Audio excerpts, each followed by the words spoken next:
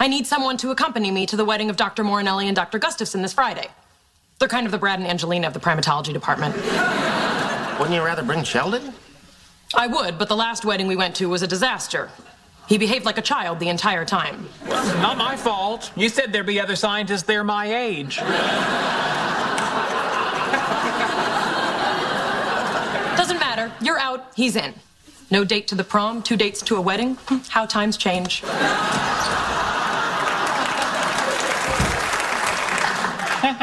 you have to go to a wedding.